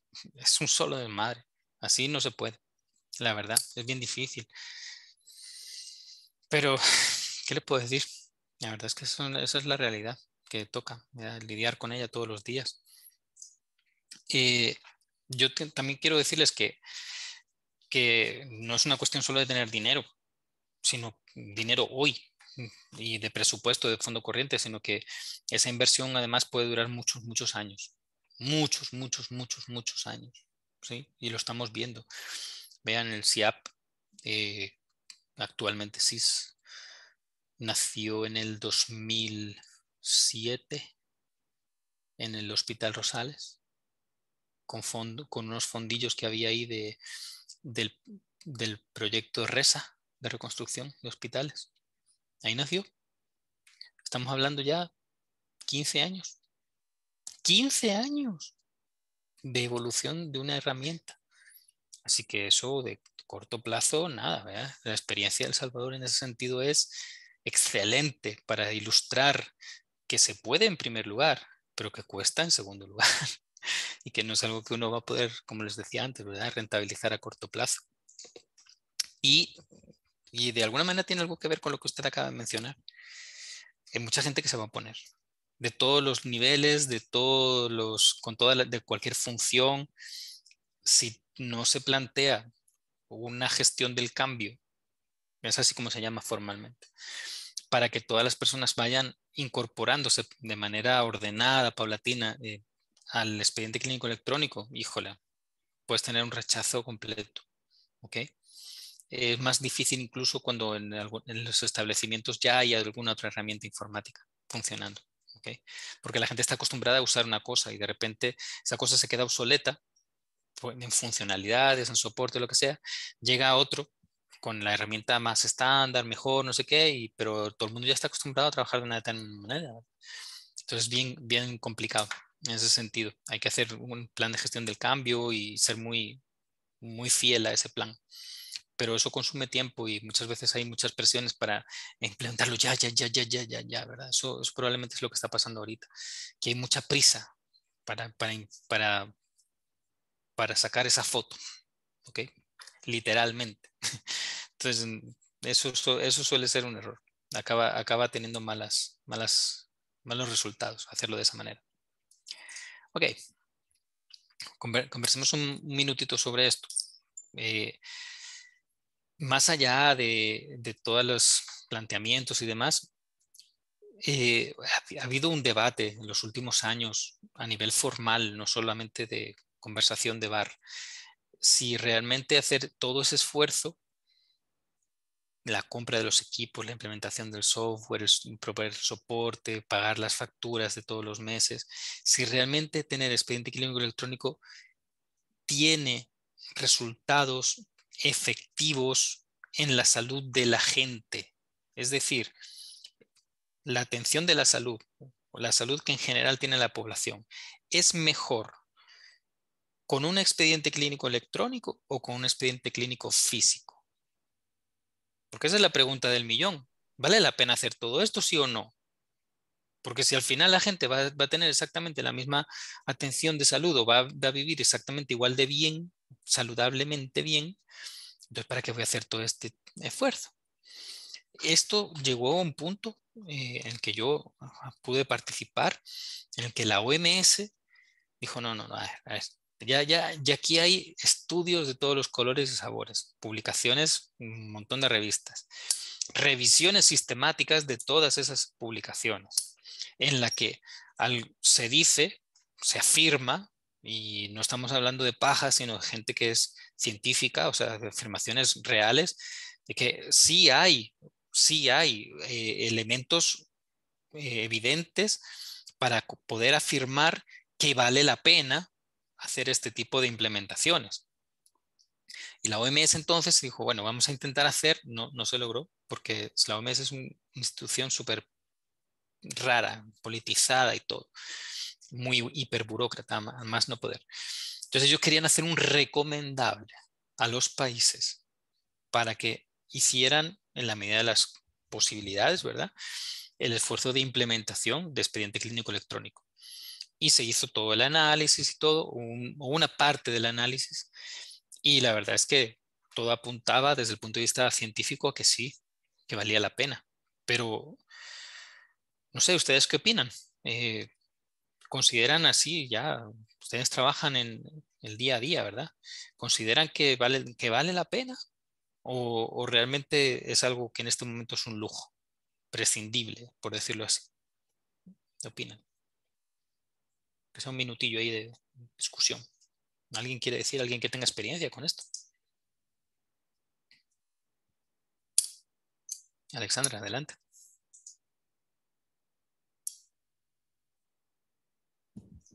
Pues realmente sí vale la pena, implementándose adecuadamente, ¿verdad? Tanto para el usuario interno, externo, hablando de paciente y, los servidores de salud, tanto para los monitoreos también que pueda, se puede hacer de los diferentes niveles administrativos de salud.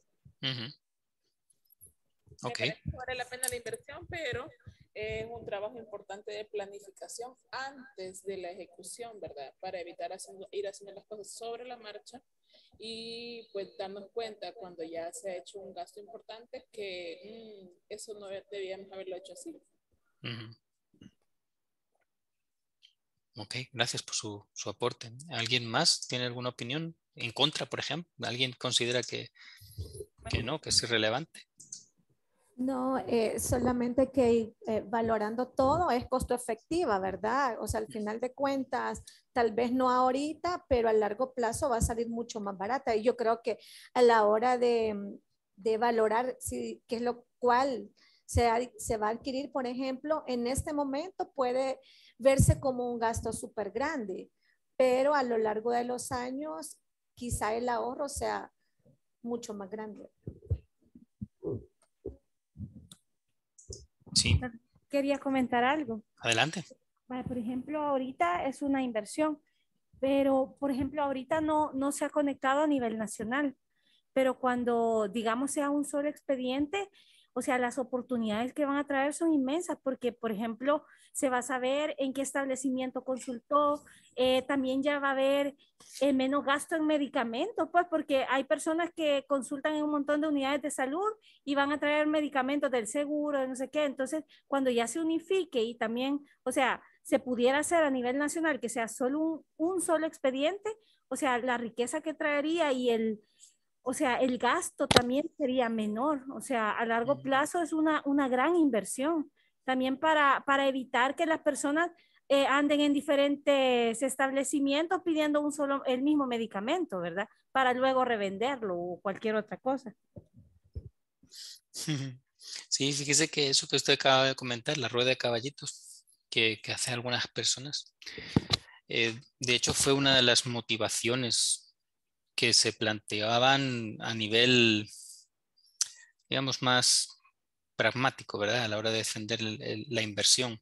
Ahora, yo le digo una cosa, eh, ese gasto superfluo por esas malas personas que hacen ese, que, que toman e, ese tipo de, o sea, que cometen esos abusos de los servicios públicos de salud, en realidad es muy pequeño en comparación con los gastos o el mal gasto que se hace al no tener, por ejemplo, una buena planificación de compras de medicamentos.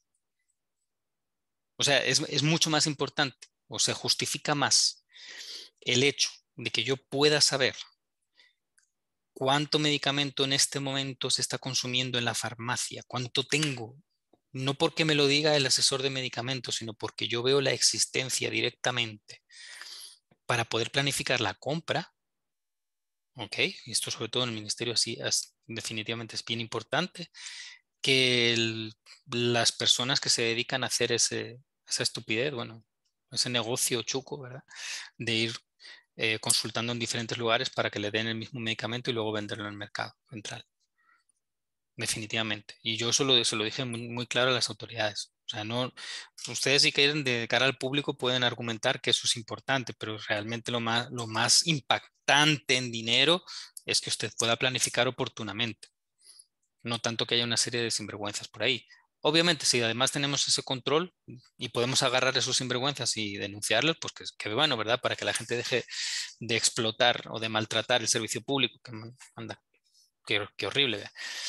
Pero, pero vamos, los ahorros son, eh, son más grandes en otros, en otros aspectos y mucho más en el tema de medicamentos. Ahora, como bien dicen, sí, sí, es una inversión, y, pero se rentabiliza a largo plazo, definitivamente. Y en este momento yo creo que el expediente único en salud ya está prácticamente a punto. O sea, es una cuestión solo de, hacer tomar los últimos detalles, incorporar cuantos más establecimientos al, sistema mejor, ¿verdad?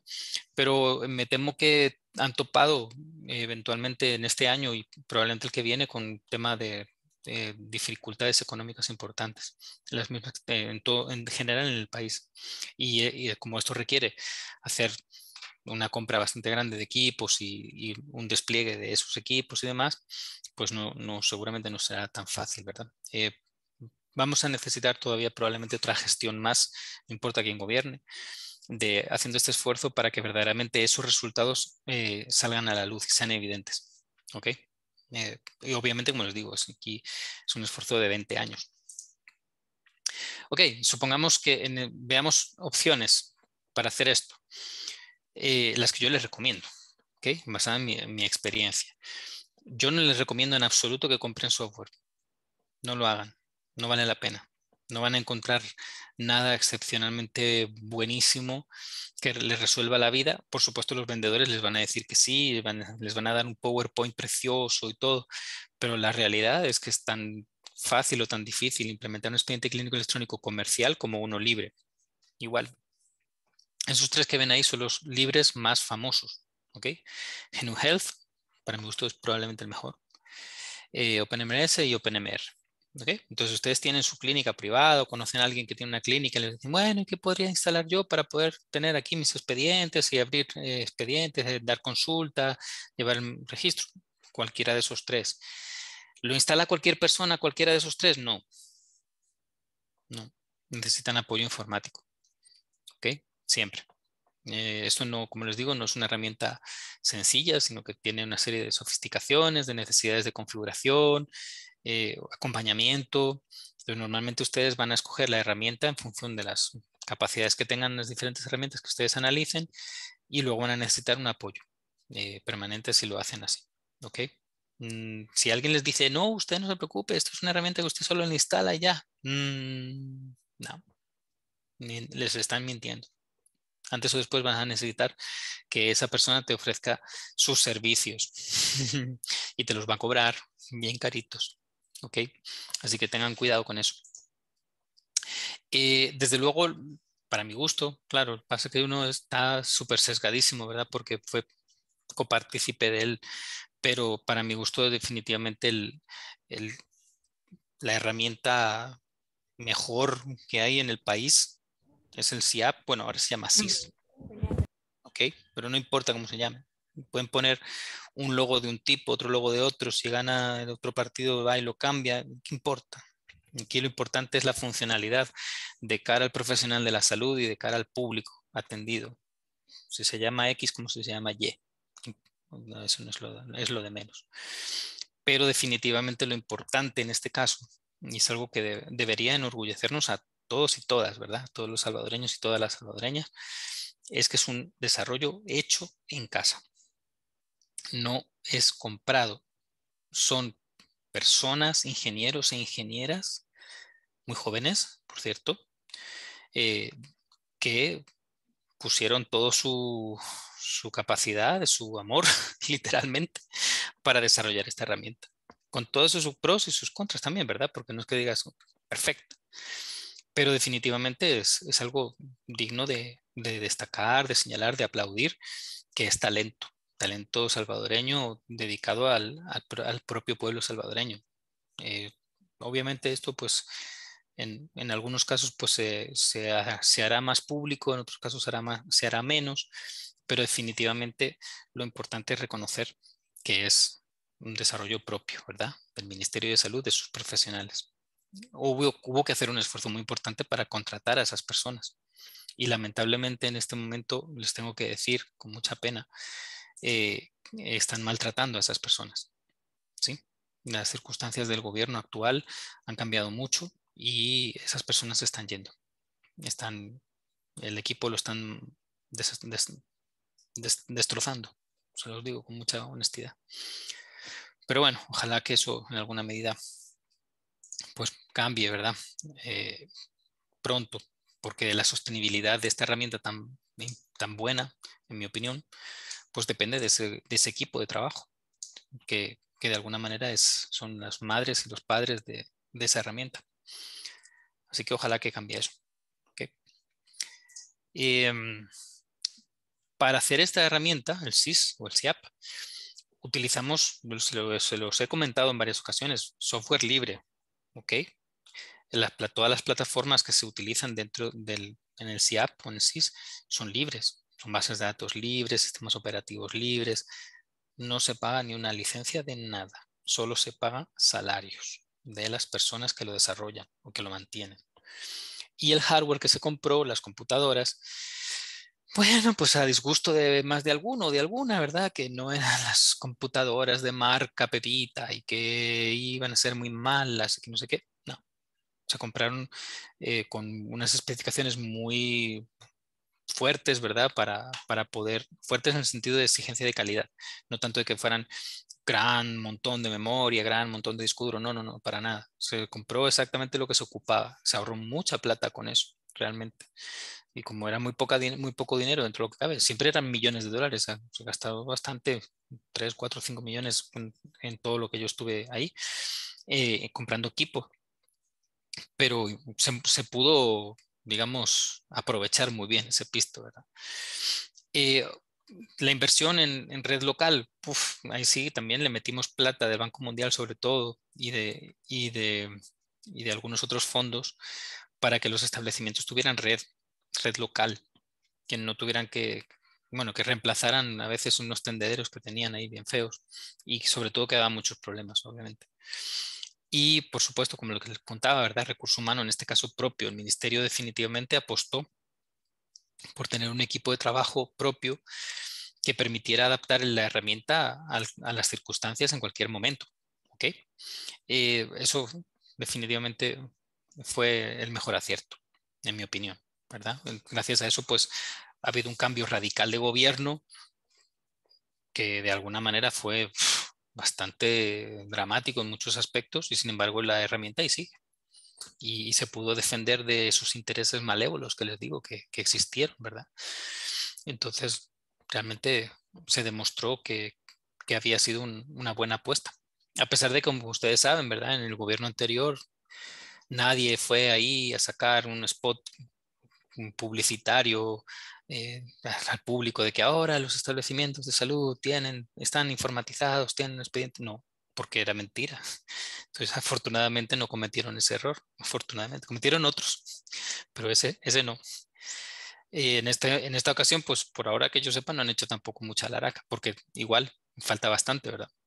Pero bueno, el, el, caso es que desde el punto de vista de lo que, lo que la herramienta produce de cara al público en, definitivamente es importante, más allá de que pueda ser explotable eh, publicitariamente o no. Y bueno, por supuesto la base legal que ya se las he comentado en varias ocasiones. Ok. Em, quiero ver, eh, bueno, eh, por mostrarles un poquito así rapidito, son casi las 12, ¿verdad? tengo por aquí una presentación bastante bonita, mucho más bonita que las que teníamos en, en mi época de hecho, para, para que les enseñe, aunque sean los componentes principales, aunque creo que todo el mundo más o menos lo conoce. Porque ustedes son de, trabajan en el, ministerio. Me gustaría enseñárselas en la práctica, en, vivo y en directo, y tengo incluso hasta unos videos bien chivos que me, compartieron ahí. Pero yo quería preguntarles, eh, todos han trabajado, conocen el, el, SIS, o sea, tienen algún conocimiento de qué es lo que tiene, ¿sí, verdad? Sí, ingeniero. Sí, vale, perfecto. Es que en, otras, en otros ciclos eran personas que venían más que nada del sector privado, entonces como de, wow, el gobierno tiene esto. y sí, me daba gusto yo ahí de sí, mire, todo, todo lo tenemos todo informatizado. Mentira, pero bueno, ahí se los decíamos. Bueno, para que quede un poco por la grabación, ¿verdad? El SIAP, que en este momento, como les digo, se llama SIS, pues la verdad es que tiene de todo. Eh, Hola, adelante. Probando. Hola, No, fíjese que no sé si usted eh, estaba todavía cuando eh, el SIS ya ahora se puede de modo celular, o sea, como una aplicación. No, no, no, no, no. Nosotros todavía no habíamos hecho una. Pero igual, solamente funciona con una red de internet eh, específicamente relacionada al SIAP. Claro. ajá, porque ahorita, o sea, si yo me conecto a mi celular a la aplicación, me va a salir no disponible. Pero ya se puede así en teléfono, eh, ya no usando propiamente la, la actualización de Chrome, sino que... Qué bien, gracias por contarme. Pues mire, eh, en alguna medida, eh, creo que de hecho lo siguiente que tendría que hacerse, tomando en cuenta que ya se tiene un expediente único en muchos casos, es una aplicación, pero no solo para que tú puedas dar consulta, que obviamente está bien, ¿verdad? Que tengas una, sino una aplicación para el público. De hecho, el, vale la pena contarles que la fama o de alguna manera la repercusión más importante que el EDUS tuvo en Costa Rica fue precisamente la app para que las personas pudieran consultar su historial en general, eh, para que pudieran sacar cita directamente con la app. Vieran qué chiva, funciona. Y con eso, bueno, todos los resultados de laboratorios, imágenes médicas, todo eso está en la app. Si se logra hacer eso, ahí sí se pueden poner la medalla que quieran. Por supuesto, se están, eh, es un esfuerzo, digamos, como de ponerle la, cereza al pastelito, ¿verdad? Eh, todo eso, esa aplicación que puede tener una repercusión mediática impresionante, ¿verdad? Y un reconocimiento del público también muy bueno, está basada en hombros de gigante, ¿verdad? O sea, todo el, toda esa masa de datos y toda esa informatización que se tiene en los establecimientos de salud y que acaba siendo culminada con esa aplicación para el público. Yo esperaría que la hicieran. Serían bien tontos si no la hacen, pero seguro que la acaban de hacer. Eh, obviamente hay, hay que tener un poquito de, precaución porque están hablando de que la persona tiene que identificarse de alguna forma, ¿verdad? Para poder entrar a su información y no a la de otra persona y todo pero vieran que es, el punto al que definitivamente todo el mundo va a querer llegar. Bueno, estamos viendo en, pantalla, ¿verdad? Esto es todo lo que tienen y como usted acaba de agregar, pues ahora incluso hay una aplicación para dispositivos móviles para poder hacer su trabajo. Qué chivo. La verdad es que es de las herramientas más completas que en este momento existen a nivel regional. Yo creo que de hecho hasta el EDUS costarricense no tiene todo esto desde el punto de vista de la cantidad de servicios que se administran. Costó mucho, en Costa Rica les costó mucho, eh, bueno, tuvieron que hacer una ley especial para crear o para darle ya el, empujón final a, la creación del EDUS. ¿okay? En el caso de El Salvador no nos hizo falta semejante cosa, queríamos hacerlo y en realidad la normativa venía por detrás. Acá sí, en Costa Rica sí, fue necesario.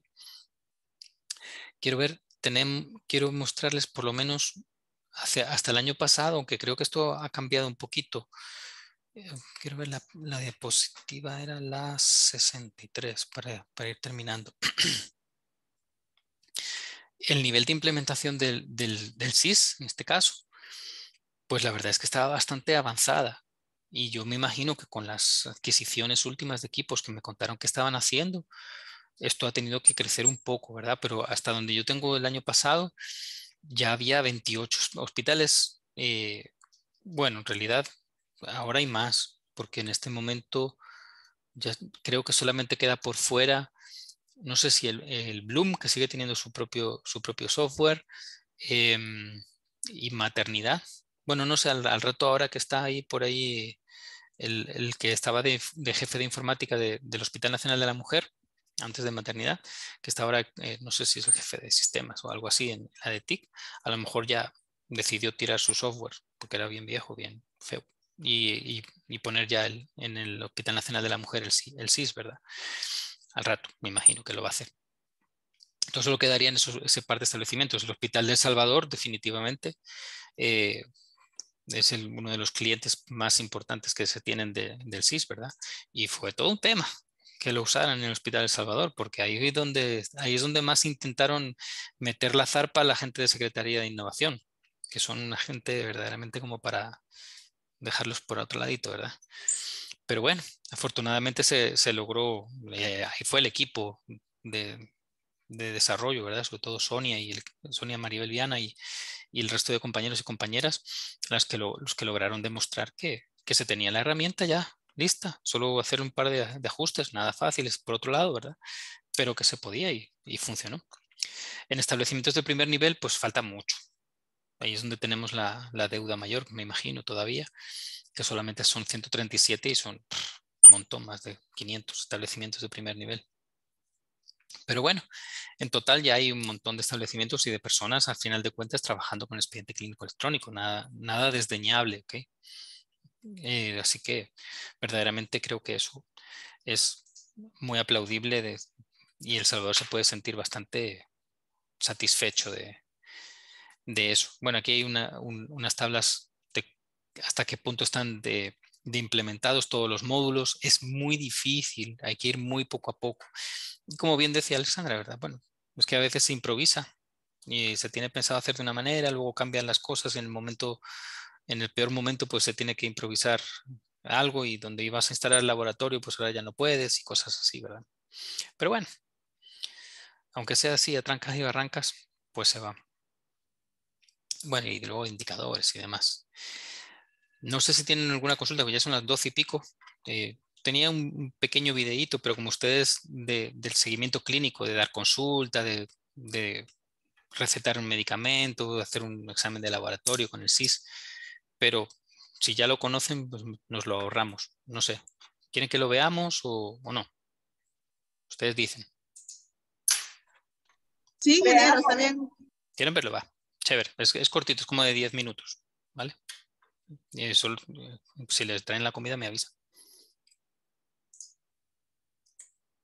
Vamos a ponerlo por aquí. Este Un segundo que le ajusto el volumen porque no se escucha nada. Va, este video lo, expone eh, Karen, Karen Peñate, que es una de las programadoras referentes de... realizar las prescripciones de medicamentos desde el sistema. Para ello deberíamos acceder a la opción de seguimiento clínico. Vamos a, a buscar la firma digital que se nos fue proporcionada. Si no tuviéramos una firma digital, debemos solicitárselo al encargado de cada establecimiento para que él nos genere nuestra firma colocamos la contraseña que elegimos cuando generamos nuestra firma y le damos entrar. Si somos un médico en el que tenemos varias especialidades configuradas dentro de nuestro establecimiento, deberemos seleccionar con qué especialidad quiero trabajar para esta opción. En este caso voy a seleccionar medicina interna, consulta externa mensal. Le doy ingresar. Entonces, en la opción de servicios de apoyo y diagnóstico, farmacia, nos aparecerá una opción de prescripción de medicamentos. Esta prescripción ha sido configurada con anterioridad. Si no tenemos esta opción, deberemos solicitarla al correo listasiat.salud.gov.sb a través del encargado de cada establecimiento para que el médico pueda tener acceso a esta opción el sistema nos presentará dos partes. La primera, en donde deberemos seleccionar el número de expediente del paciente al que le queremos generar historial de recetas. Luego tenemos la parte del diagnóstico y datos complementarios para su generación. Escribimos acá el número de expediente de nuestro paciente o el nombre, lo seleccionamos Luego escribimos un diagnóstico, por ejemplo, hipertensión esencial. Y podemos agregar una observación.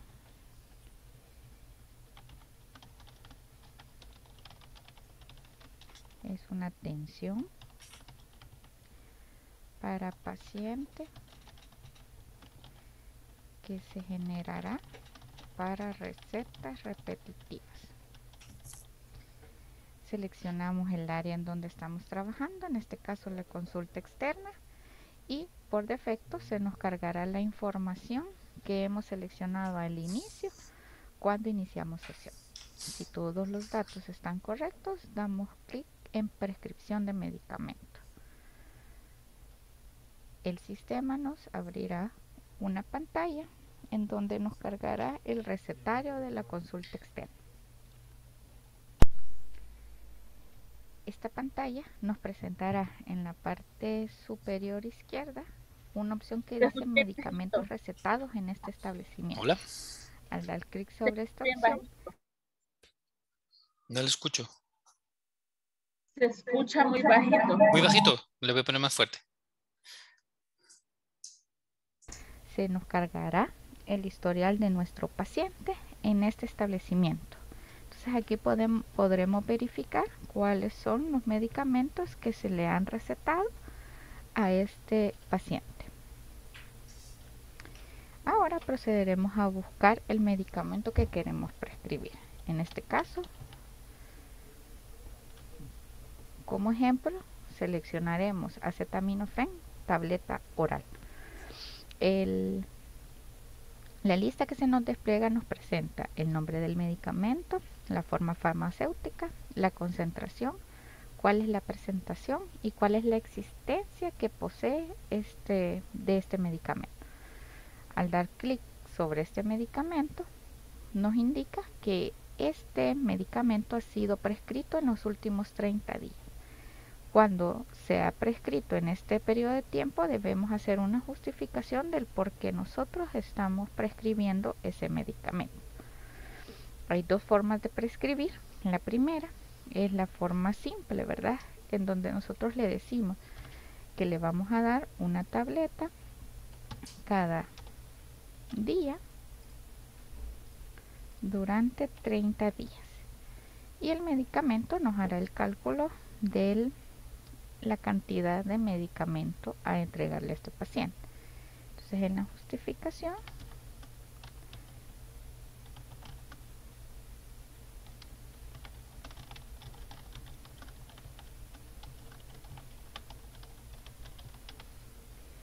si queremos dejarle repetitivas damos clic en donde dice repetitivas no para que se nos activen cuántas recetas repetitivas deseamos otorgarle en este caso le vamos a dejar cuatro recetas repetitivas y le damos guardar medicamento. En este momento el sistema generará las cinco recetas, la del día y la de los días siguientes. El sistema para hacer el cálculo de la fecha toma días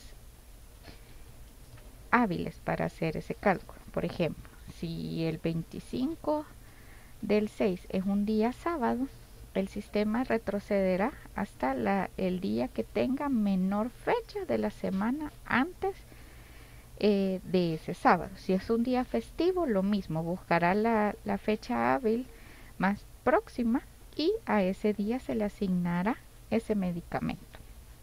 Por eso es que en el día eh, en el mes 7, dice que se entregará el 24 porque este día es un día sábado. Luego tenemos la otra opción de prescribir.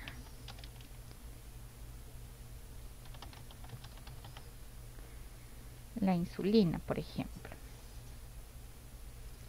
La insulina, nosotros podemos hacer un cálculo por prescripción diaria. Es decir, que va a ser variable tanto para mañana como para tarde. Entonces yo puedo prescribir 10 unidades por la mañana y 10 unidades por la tarde. Entonces el paciente se estará inyectando 20 unidades al día que se distribuyen de esta forma si aparte de esto él se da 5 unidades por la noche, entonces el sistema va a calcular que son 25 unidades cada día durante 30 días. Esta opción de prescripción diaria puede utilizarse para cualquier medicamento que tenga diferentes dosis en los diferentes eh, tiempos del día que el paciente se va a dar este medicamento. Luego le digo cuántas repetitivas voy a permitir. Entonces si yo le pongo 6, el sistema me dice que el máximo de medicamento que yo puedo prescribir es de 5 repetitivas. Entonces, el sistema de manera automática me colocará el 5 para que yo pueda guardar. En este caso no me pidió una justificación porque este medicamento no había sido recetado en los últimos 30 días. Doy clic en guardar medicamento.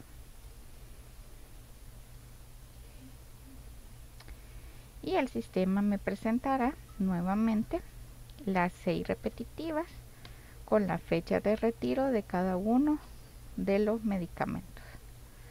Debo repetir este proceso las veces o los medicamentos que yo le quiera prescribir a este paciente. Por ejemplo, una tenolol, yo le puedo decir que se, se va a tomar una por la mañana. Doy clic en el botón de más y media pastilla por la tarde.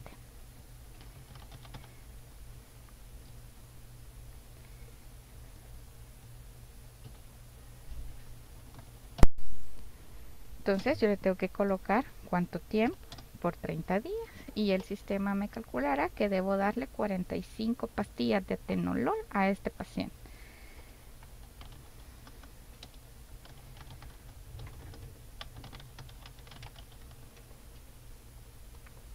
Luego le doy clic en repetitivas, le coloco cuántas repetitivas le voy a dar y le doy guardar. Si yo ya terminé de dar todo el medicamento a este paciente, procedemos a hacer la impresión de estas recetas. Para ello damos clic en el botoncito que se encuentra justo a la par de la impresora y esto lo que hará es seleccionar todos los medicamentos para su impresión. Damos clic en la impresora, damos clic sobre la impresora y el sistema nos habilitará una nueva ventana en donde podremos imprimir todas las recetas que hemos prescrito en nuestro establecimiento. Entonces nos aparecerán la cantidad, la dosis a prescribir, el nombre del medicamento, el nombre de nuestro paciente, la edad de nuestro paciente, la fecha en que está haciendo la consulta y el sexo de nuestro paciente. En esta parte nos coloca el nombre del médico y la especialidad en la que se está consultando. En este pequeño cubo, al leerlo con un teléfono o con una herramienta adecuada para leer los cubos QR, aparecerá el nombre del médico, su número de junta de vigilancia y la especialidad en la que está haciendo su prescripción. Si yo necesito agregar otro medicamento, puedo hacerlo y tengo que volver a imprimir las recetas que me hacen falta. Esta pantalla no me permite, por ejemplo, si yo quiero darle otra vez acetaminofén tableta oral, no me lo permite porque ya fue recetada en esta consulta. Entonces no puedo repetir los medicamentos que ya yo prescribí. Si en dado caso yo me equivoqué en la dosis, entonces tendría que borrar dando clic en esta opción de basurerito. El sistema me pregunta que si quiero borrar la receta, entonces le doy clic en aceptar. Si al buscar un medicamento, por ejemplo,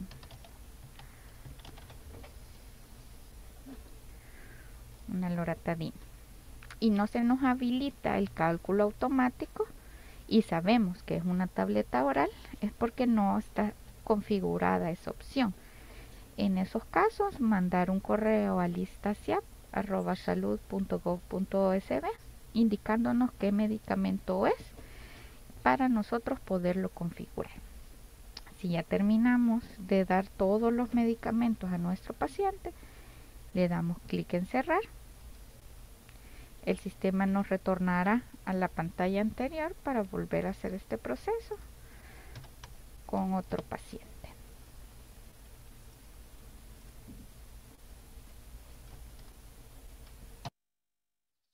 Bueno, eso no más que nada porque para demostrar en algunos casos, como les decía, que esto no es un planteamiento teórico, ¿verdad? Sino que es una herramienta que ya funciona y que está perfectamente puesta en marcha, ¿verdad?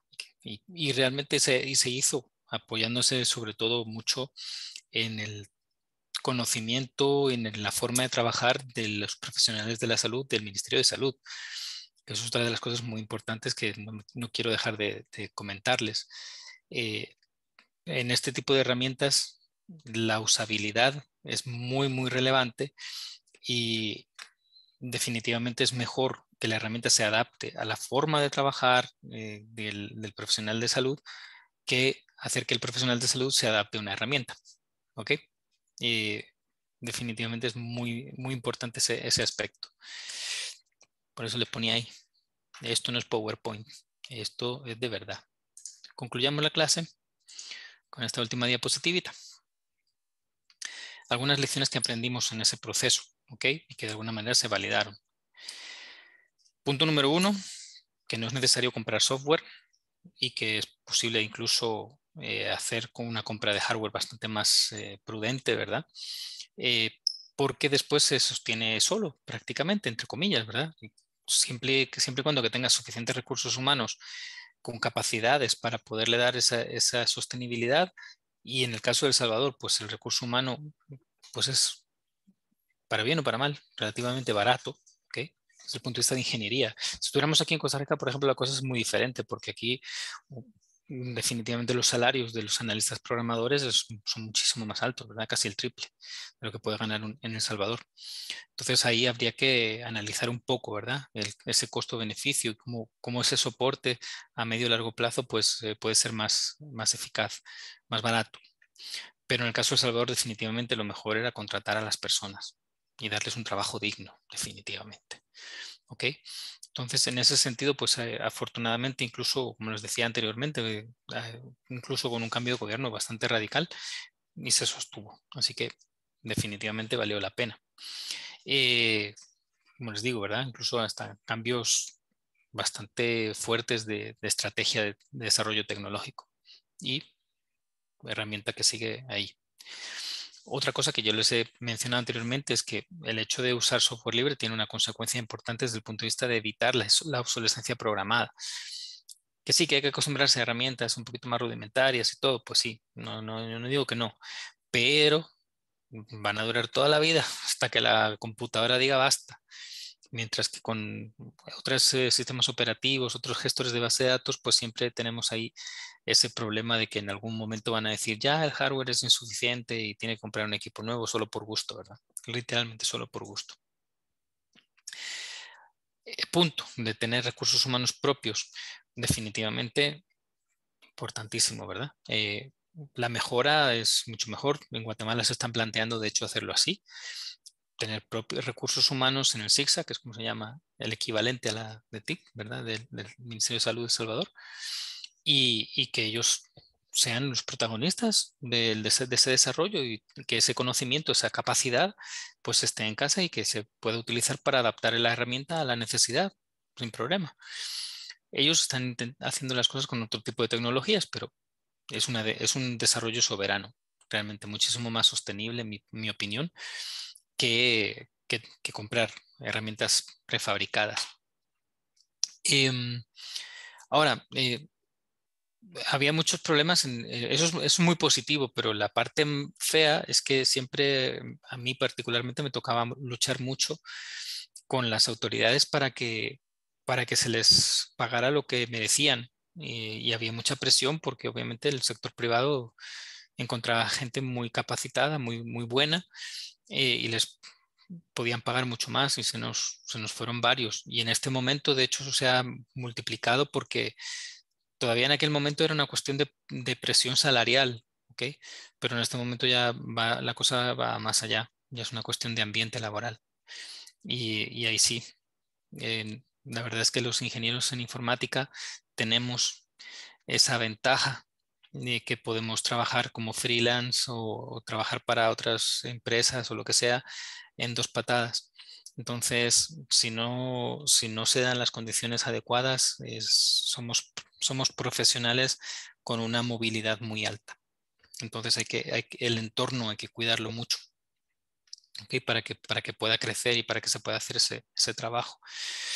Eh, en, como les pongo ahí, ¿verdad? En, el contexto de El Salvador definitivamente valía la pena apostar por contratar gente, a pesar de que hubo algunas oposiciones a eso, sobre todo eh, quienes daban el dinero, que eran préstamo, ¿verdad?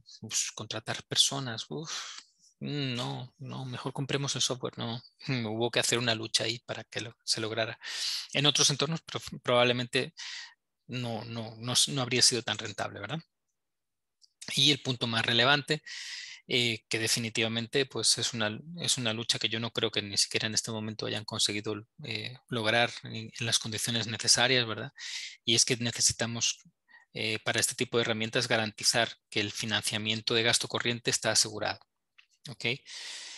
si no, definitivamente podemos tener problemas muy graves, sobre todo cuando, cuando haya algunas dificultades como esas que les contaba yo, ¿verdad? Que algún alguna equipo obsoleto se arruine y se pierdan los datos, haya algún tipo de ataque, secuestro de datos, etcétera. Ahí es donde se nota que no se si no se ha hecho el gasto, eh, la inversión inicial no tanto, pero sobre todo si no se dispone de, de suficiente financiamiento para el gasto corriente. ¿ok? También otro punto importante es que, que siempre era un gran hándicap, es que la herramienta se enfrentaba con procesos en los diferentes establecimientos un poco diferentes para las mismas, el mismo tipo de atención y que se adaptaban un poco al gusto del consumidor, ¿verdad? O sea, de repente había profesionales en algunos establecimientos que habían decidido que se iban a hacer las cosas de determinada manera porque ese era su criterio y de repente eso pues se desviaba por completo de la, de la guía oficial de atención, ¿verdad? Y eso es un pleito, cosa seria. Pero bueno, eh, por último, bueno, nosotros hicimos un gran esfuerzo por, por actualizar el marco regulatorio y quedó ya listo, pero falta un detalle. ¿Vieron que falta un detalle? Yo les he dicho que la norma técnica y toda la cosa, ¿verdad? Pero la norma técnica lo único que dice es qué es lo que hay que hacer pero no dice cómo hay que hacerlo. Bien. Entonces, al ministerio, de hecho, estaban en ese afán, ¿verdad? Le falta desarrollar el lineamiento técnico para que la norma técnica se acople a cómo se pueden hacer las cosas en el ministerio y sus establecimientos. Y así todos los, y así todos los demás proveedores de servicios de salud, públicos y privados. ¿Ok? Entonces, esa parte del marco regulatorio todavía está pendiente, el lineamiento, que es el cómo se hacen las cosas para cumplir la norma técnica. ¿ok? Y listo, eso sería todo. Eh, ¿Alguna pregunta, alguna duda, comentario? Híjole, ya son casi las doce y media. Todo bien, ingeniero, gracias. Bueno, pues que tengan buen provecho y porfa, les espero en el foro. Es una pregunta muy simple la que les estoy haciendo en el foro por favor participen. ¿De acuerdo? Y cualquier cosita, pues estamos ahí pendientes. ¿Sí? Hola, ingeniero. Adelante. Los compañeros piden si les puede dar prórroga para hoy, para el foro que, no pudieron completar. Ah, sí, falta Igmar y Pedro. Vaya, está bien. lo voy a ampliar el día de hoy. Chévere, gracias. Bueno, con mucho gusto. Hasta luego.